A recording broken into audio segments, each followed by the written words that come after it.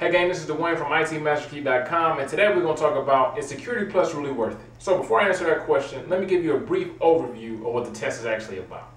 On the exam, you'll get 90 questions and you get 90 minutes to answer those 90 questions. So the passing score for Security Plus is 750 out of 900.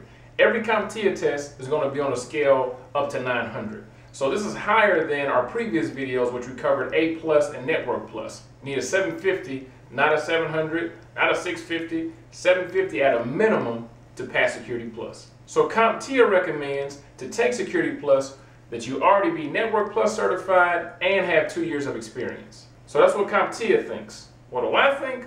That doesn't really matter. But I've had students that studied really, really hard and passed the exam.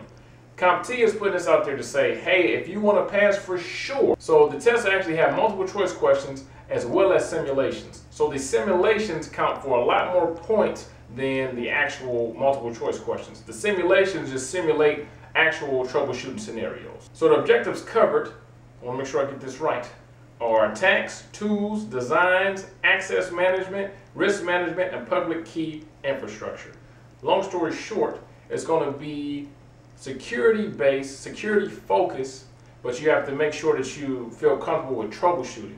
All right, every CompTIA test, no matter if it's Network Plus, A Plus, CASP, whatever, there's going to be a lot of troubleshooting scenarios. So something is wrong, you have to figure out what went wrong. Now, there's just a different focus on each exam. Network Plus focuses on networking.